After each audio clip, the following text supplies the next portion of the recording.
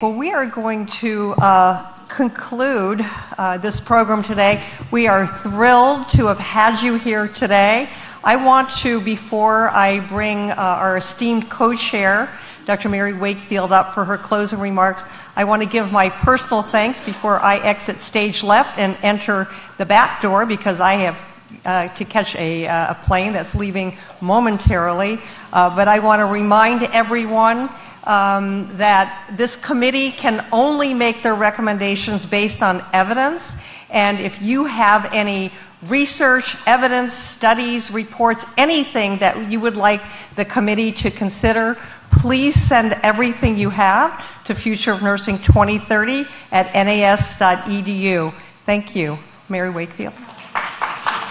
Oh, oh Mary, you're done?